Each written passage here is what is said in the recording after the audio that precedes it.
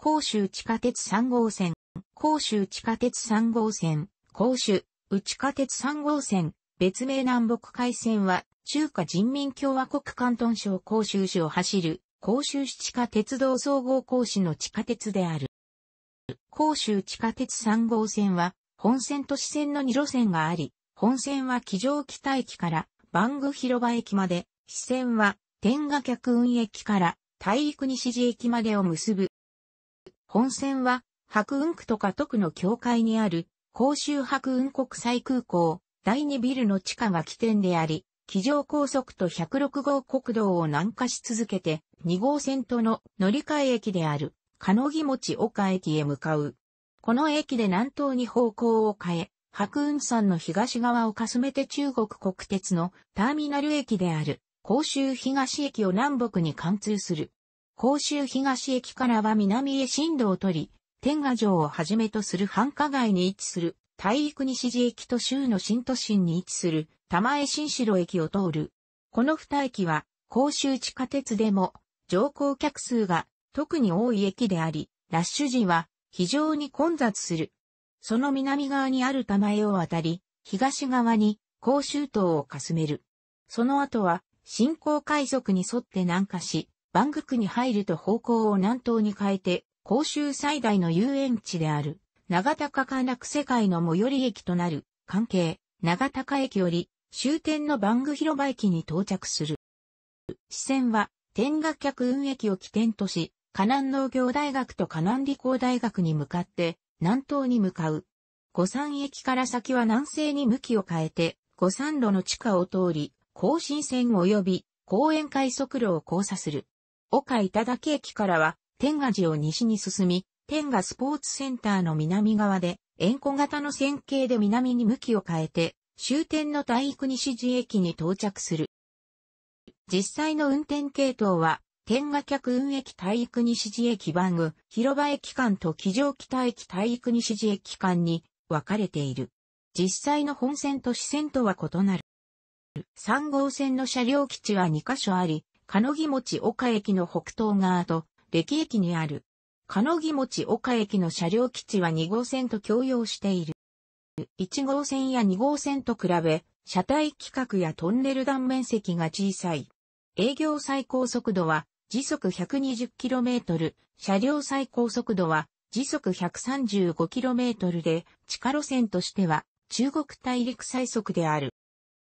1997年当時の計画では、地下鉄5号線は環状線として計画されていたが、そのうちの大陸西寺から客村間までの区間が現在における3号線の一部に当たる。2000年に、それまで甲州市の南隣に位置していた番具市が甲州市番具区として編入され、天学西部の開発が始まった。このためあたり路線は、甲州東駅から番具広場までの新線に独立して計画されるとになった。同時に、大陸西寺から天下客運駅までの支線、新白運国際空港と甲州東駅を結ぶ空港快速線の計画が浮上した。2003年の計画で空港快速線は3号線に統合され、白雲山の東側を通るルートに改められた。南側の終点は、バング広場の東にある、甲州ニュータウンを経て、南佐までに延長された。2001年12月26日に、大堤駅が試験区間として着工し、2003年1月26日に竣工。この駅が初めて竣工された駅となった。応答駅は3台のトンネルボーリングマシンの起点となり、工程を制御する役割を果たした。本線と支線が分岐する大陸西寺駅は5月18日に着工し、既存路線である1号線の80センチメートル下にホームが設けられた。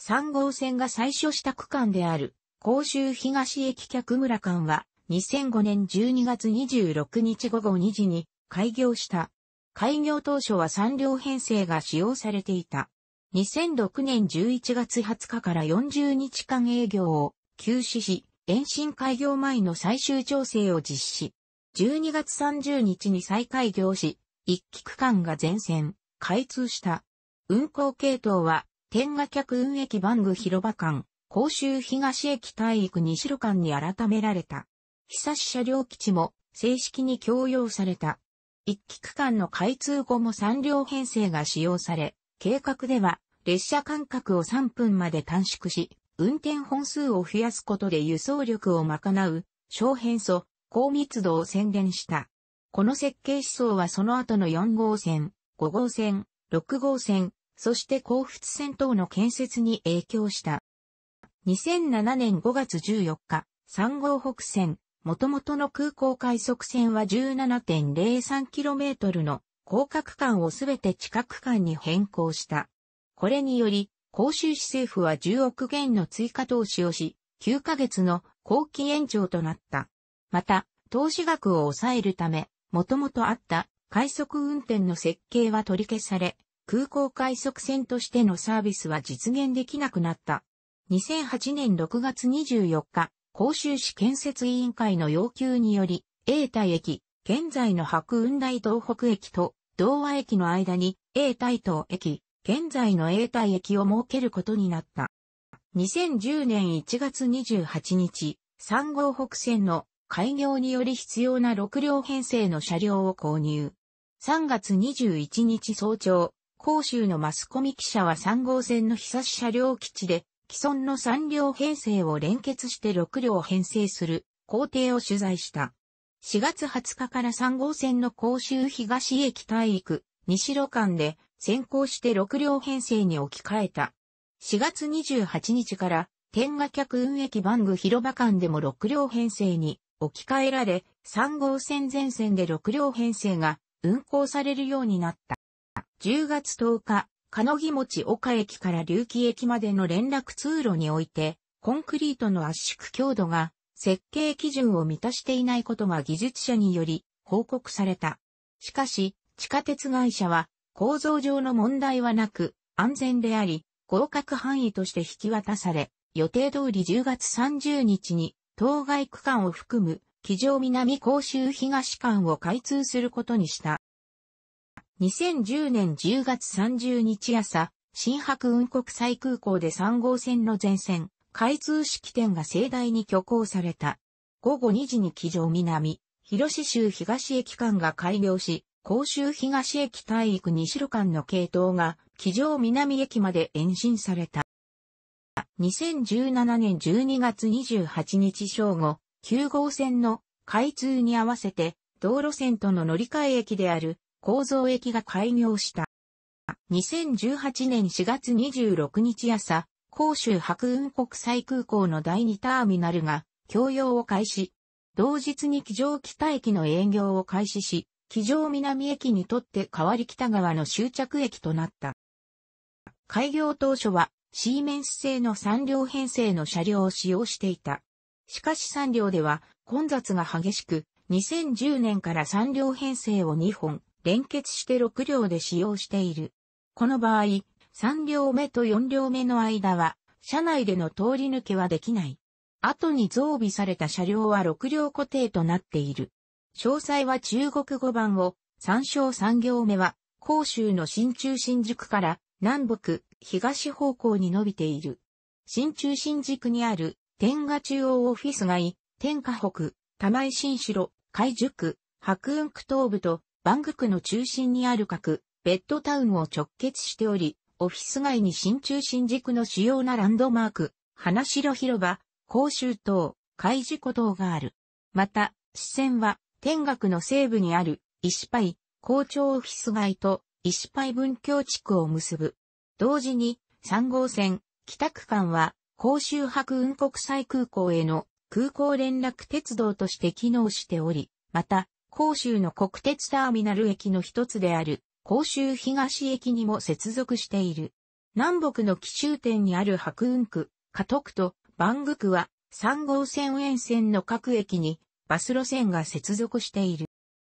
そのため3号線の開通後は、甲州市で最も重要な南北交通の大動脈となり、多くの乗客が利用する。2006年にバング広場まで延伸開業されて以降、ラッシュ時の列車は混雑している。現在は3号線の1日平均輸送量が150万人を超過しており、そのうち、バング広場から天下客運駅までの本線でも100万人を超えている。また、3号線に近接している甲州大道等の主要幹線道路が、ラッシュ時に深刻な交通渋滞が発生していることもあり、地下鉄に乗り換えた市民も少なくない。3号線の輸送量は2号線と同じ程度であるが、3号線は B 型車両を採用しており、1編成あたりの輸送力は2号線で採用している A 型車両の約72%に過ぎない。したがって、